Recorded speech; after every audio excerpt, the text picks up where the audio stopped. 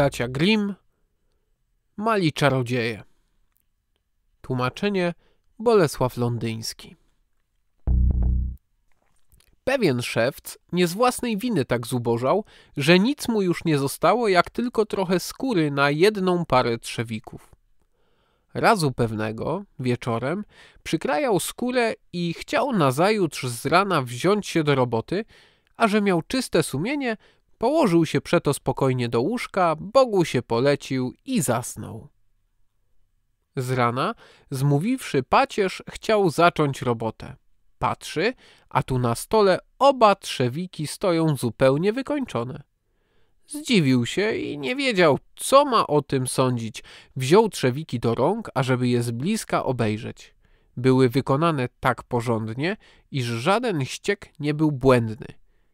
Było to po prostu arcydzieło kunsztu szewskiego.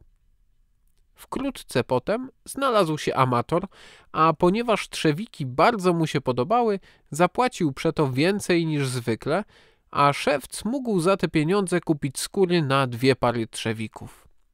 Przykrajał je wieczorem i chciał nazajutrz wziąć się z zapałem do roboty, ale było to zbyteczne, gdyż wstawszy z łóżka znalazł trzewiki gotowe, a i kupcy zjawili się też niebawem i dostał tyle pieniędzy, że mógł nabyć skóry na cztery pary trzewików. Te cztery pary nazajutrz z rana były także wykonane wzorowo i tak działo się ciągle. Cokolwiek przykrajał z wieczora, to było wykończone z rana, tak że znowu przybrał wygląd stateczny i wyszedł na porządnego człowieka. Pewnego wieczora przed samym Bożym Narodzeniem, przykrajawszy skórę, szewc rzekł do żony – jak myślisz? A może byśmy tej nocy nie spali, ażeby się przekonać, kto też przychodzi nam z taką pomocą? Żona przystała na ten projekt i obsadziła świecę. Potem oboje schowali się w jednym z kątów pokoju za ubraniem, które tam wisiało. O samej północy przyszło czterech maluteńkich, ładniutkich, nagich mężczyzn, zasiadło do warsztatu szewca wzięło w ręce przykrajaną skórę i jęło swymi paluszkami tak zręcznie i prędko kleić, zeszywać, przybijać i przyklepywać, iż szewc nie mógł oczu oderwać z podziwu. Nie przestali dopóty, dopóki wszystko nie było gotowe, po czym trzewiki zrobione postawili na stole i uciekli. Nazajutrz z rana rzecze majstrowa. Ci mali ludzie zbogacili nas. Trzeba im za to wdzięczność okazać. Biegają nadzy, nieokryci, więc musi im być zimno.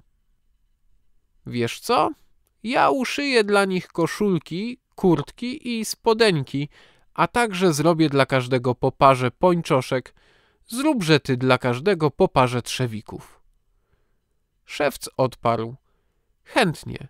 Zgadzam się na to i wieczorem, gdy skończyli wszystko, ułożyli prezenty na stole zamiast przykrajanej skóry i schowali się znowu, ażeby zobaczyć, jak się też mali ludzie zachowają.